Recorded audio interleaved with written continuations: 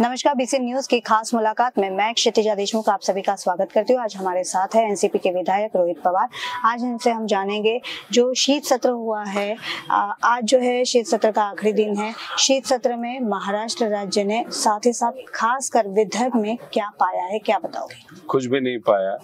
अगर आप देखें जो भी मंत्रियों ने भाषण किया या जो भी उन्होंने कहा उसमें लोगों के हित का कुछ भी नहीं था। मुख्यमंत्री साहब का जो भी भाषण था वो पॉलिटिकल भाषण था। उसमें आ, किसानों को क्या देंगे या युवाओं को क्या देंगे उसके बारे में उन्होंने कुछ कुछ भी कहा नहीं था। वो आंकड़ों में नहीं बात किए। उन्होंने पॉलिटिकल स्टाइल में भाषण किया उनका सिर्फ़ पॉलिटिकल एजेंडा था और कुछ नहीं था। मराठा आरक्षण के बारे में जब वो बात कर रहे थे उन्होंने कुछ कॉन्क्रीट नहीं बताया। उन्होंने सिर्फ़ बताया कि फेब्रुवरी महीना में हम निर्णय लेंगे। अगर आप फेब्रुवरी महीने में निर्णय लेना चाहते हो या विचार करते हो तो अभी भाषण करने का फ़ायदा क्या हुआ? आप आप भी निर्णय लेना चाहिए था, लेकिन अगर आप फेब्रुवरी लेके जाओगे, फिर उस वक्त जो आचार संहिता है लोकसभा की, फिर विधानसभा की, उसमें टाइम और जाएगा। तो आप डायरेक्टली बता दो ना कि आपको आरक्षण देना ही नहीं था। आपने सिर्फ़ छत्रपति शिवाजी महाराज की ऐसे ही शपथ ली और वहाँ पे लोगों का दिशा भूल किया ऐसे कुछ हम सबको लग रहा है। बिल्कुल कई मुद्दों को लेकर आपने भी सदन में जो है मुद्दों को रखा है। क्या बताओगे सरकार सकारात्मक थी है, सरकार कोई भी लोगों के बारे में सकारात्मक नहीं है। जो जो मुद्दे हमने लिए करप्शन का मुद्दा लिया युवाओं के हज़ार रुपए जो फ़ी ली जा रही है सरकार से वो मुद्दा लिया। जो पेपर फोड़े जा रहे हैं या वो लीक हो रहे हैं उसके बारे में हमने बताया। उसके बारे में कुछ नहीं उन्होंने सिर्फ़ एक कमेटी फॉर्म की उसमें भी टाइम पास होने वाला है और कुछ नहीं क्योंकि तीन महीना वो कमेटी पढ़ाई करेगी, फिर उसके बाद आचार संहिता आएगी, वो इम्प्लीमेंट नहीं होगा उसके पहले अगर भर्ती हो गई तो उसमें जो तलाटी भर्ती में तीस तीस लाख को एक पद गया, वहाँ पे करप्शन हुआ, तीन हज़ार करोड़ का वैसे वापस और होने वाला है। तो ये जो चीज़ें है, किसानों के बारे में जो मुद्दा हमने मांडा था कि कॉटन के लिए मुबदला मिले, सोयाबीन के लिए मिले, या तूर के लिए मिले जो भी ड्रॉट है या अपना प्री सीजनल रेन हुआ था, उसके बारे में मदद एनडीआरएफ इनटू थ्री या फोर टाइम्स मदद होनी चाहिए। उसके बारे में कुछ भी नहीं बताया। मतलब ये सरकार ने कैसे है कि पुराना भाषण नए स्टाइल में, नए पैकेज में दिया, बाकी कुछ नहीं दिया। तो ये जो चीज़ें हैं, इसका हम विरोध करते इसका निषेध करते इस अधिवेशन में सामान्य लोगों के लिए कॉमन मैन के लिए कुछ भी नहीं था। बिल्कुल। जिस तरह से आपने बताया कि इस शीत सत्र के दौरान सामान्य जनता को कुछ नहीं मिला है। आपने जो है 800 किलोमीटर की संघर्ष यात्रा निकाली थी। इस दौरान आप कई जिलों से गुजरे हो। कई मुद्दों को आपने देखा है। पास से करीबी से जाना है। उन मुद्दों को लेकर भी आप सदन में आए हो। उस पर भी कुछ हल निकला है या नहीं?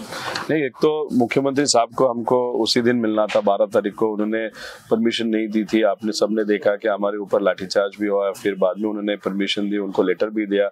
उस लेटर में हमने बहुत सारे मुद्दे लिए हमारी अपेक्षा थी कि जब अधिवेशन में वो मुख्यमंत्री साहब बोलेंगे, तब उस मुद्दे पे बात करेंगे। उसमें किसानों के मुद्दे थे, उसके बारे में कुछ भी नहीं कहा। सिर्फ़ ऊपर ऊपर से उन्होंने स्पर्श किया या टच किया, बाकी कुछ नहीं हुआ। उसमें हमने बताया था कि एनडीआरएफ का जो निकष है, उसका मल्टीपल्स मतलब चार टाइम्स मदद ये सरकार ने दी चाहिए। उसके बारे में नहीं इंश्योरेंस के बारे में कुछ भी बात नहीं हुई। और उसके, उसी के साथ हमने यही बात की थी कि ये जो स्पर्धा परीक्षा के मुद्दे है कम्पिटिव एग्ज़ाम के मुद्दे वो भी सॉर्ट आउट हो। उसके बारे में कुछ नहीं कहा। अभी पेपर लीक के बारे में उन्होंने कायदा लाने का एक कमिटी बनाया। उसमें भी तीन महीने का टाइम पास किया। लेकिन ये जो मुद्दे हमने डाले थे, एक तो इम्पोर्टेंट थे, लोगों के थे, उसके ऊपर विरोधी पक्ष नेता या जो भी विरोध में जो नेता है, उन्होंने हम, हमारे ऊपर बहुत सारी चीज़ें बताई। लेकिन वो जो चीज़ें है, उन्होंने कुछ भी कहा, लेकिन वो जो मुद्दे है, वो मुद्दे ज़्यादा इम्पोर्टेंट थे, लेकिन उसके बारे में कोई भी कॉन्क्रीट ऐसा निर्णय इस सरकार ने लिया नहीं ऐसा हम सबका कहना है। आज कई विधायकों से सत्ता पक्ष के विधायकों से हमने बातचीत की। इस दौरान उन्होंने कहा कि बड़ा पैकेज जो है किसानों को दिया गया है। क्या बताओ क्या पैकेज दिया? वो बताओ। उनको समझ में नहीं आया। मुख्यमंत्री साहब कौन से पैकेज के बारे में बात कर रहे थे? वो पुराने पैकेज के बारे में बात कर रहे डेढ़ साल में हमने क्या किया? डेढ़ साल में हमने क्या किया? मतलब आप हर वक्त डेढ़ साल, दो साल आप आसाम गए थे, गुवाहाटी गए थे, वही हमको सुनना है क्या? हमको आज आप किसानों को क्या मदद करोगे? आज किसान अड़चन में है, आज युवा अड़चन में है, आज बेरोजगार युवा अड़चन में उसके बारे में आप क्या करोगे? वो बताओ। ये क्या होता है कि इनको फंड मिला। मतलब जो सत्ता में है आमदार, उनको अगर फंड मिला तो वो महाराष्ट्र में जो चल रहा है उसको भूल जाते हैं। उसी में वो हैप्पी रहते हैं। इसलिए उसको उनको कहा कि वो बोले कि नहीं नहीं बहुत अच्छा फंड मिला। लेकिन कुछ भी आ, किसानों के बारे में कॉन्क्रीट या अच्छा निर्णय सरकार ने लिया नहीं कोई भी फंड उन्होंने नहीं दिया। जो भी बताया वो सिर्फ़ कैजुअली या आप बोलते वैसे विदाउट नंबर उन्होंने बात की है। मराठा आरक्षण को लेकर जो है विशेष अधिवेशन फरवरी में बुलाया गया। है उस दौरान जो है फैसला आने वाला है। क्या बताओगे एनसीपी की भूमिका मराठा आरक्षण को लेकर क्या है? नहीं एक तो मराठा आरक्षण मराठा आरक्षण मिलना ही चाहिए ऐसे हमारी भूमिका हमने जब बात की थी हमने दो चीज़ों पे बात की थी। एक तो आपको अगर इंदिरा सानी केस को बाईपास करके कोर्ट में टिकना है तो आपको इम्पेरिकल डेटा लगेगा। जातीय जनगणना आपको करनी पड़ेगी। लेकिन वो कब तक होगी कितना टाइम लगेगा उसके बारे में कुछ भी कहा नहीं गया।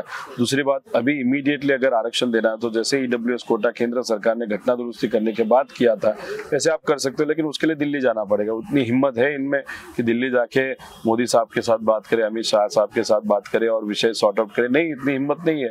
गुजरात में प्रोजेक्ट लाने की हिम्मत है आ, फिर कोई भी महाराष्ट्र के हक का मुद्दा किसी और राज्य के लिए देने के लिए इनमें हिम्मत है लेकिन महाराष्ट्र के लोगों के लड़ने की हिम्मत इस सरकार में नहीं है वो हम सबको अभी दिख रहा है। अभी फेब्रुआरी में लेके जाएँगे तो अगर आचार संहिता आ गया तो खत्म मतलब टाइम पास हो गया। और जो इनको करना है कि ओबीसी विरुद्ध मराठा करना है वो शायद ये जनवरी में करना चालू कर देंगे। बिल्कुल। सबका इसी को लेकर एक सवाल है कि मराठा आरक्षण का मुद्दा आप राजनीतिक तरीके से देखते हो मतलब सत्ता पक्ष जो है राजनीति के को लेकर मराठा आरक्षण का मुद्दा लेकर आइए जो चुनाव आने वाले हैं अभी। अगर बीजेपी के बारे में अगर आप बात करें तो 2019 का जो लोकसभा का इलेक्शन था, उसके एक साल पहले कोरेगांव भीमा में एक वाद दो समाज में हुआ था, उसका डायरेक्टली इनडायरेक्टली फ़ायदा बीजेपी को हुआ। तो वो किसने किया, क्या किया, वो हम सबको देखना पड़ेगा। अभी को देखो 2024 का लोकसभा का इलेक्शन अभी चार पाँच महीने में, और अभी मराठा विरुद्ध ओबीसी चालू हो गया। मतलब जब लोकसभा इलेक्शन होता है, तभी दो समाज में वाद क्यों निर्माण होता है? तभी दो धर्म में वाद क्यों निर्माण होता है? इसका कुछ तो पढ़ाई करना चाहिए। दूसरी बात भीड़ में जो हुआ, वहाँ पे स्ट्रेट फॉरवर्डली हम सबको दिख रहा है कि जो सत्ता में लोग हैं, उन्होंने ही पुलिस को कहा था कि कुछ भी एक्ट मत करो। और वहाँ पे भी ओबीसी समाज के जो आमदार है, उनका घर फोड़ा गया, कोई दुकानदार का घर फोड़ा गया, और उसमें ओबीसी विरुद्ध मराठा करने का प्रयत्न वहाँ पे किया था। तो हम सबका अभी एक कहना हो गया फाइनल हो गया कि इस सरकार को ओबीसी विरुद्ध मराठा करना है लेकिन 2019 में शायद वो सक्सेसफुल हो गया होगा। अभी होगा ऐसे हम सबको नहीं लगता। बिल्कुल। लोकसभा चुनाव या विधानसभा चुनाव 2024 को लेकर क्या रणनीति है? एनसीपी की क्या बताओ? कुछ नहीं लोगों को विश्वास में लो मन से लड़ो बहुत ताकत से लड़ो। हमारे पास लोकशाही है सबसे बड़ी ताकत है। बीजेपी के साथ पास पैसा है उनके पास अलग अलग टाइप की ताकत है। उस ताकत के सामने अगर हमको टिकना है तो मन से लोगों के पास जाना पड़ेगा, लोगों को विश्वास में लेना पड़ेगा, आप लोगों के लिए क्या कर सकते हो वो दिखाना पड़ेगा। अगर वो आप दिखाओगे तो लोग आपके साथ रहेंगे, अगर नहीं दिखा पाएँगे तो नहीं होगा।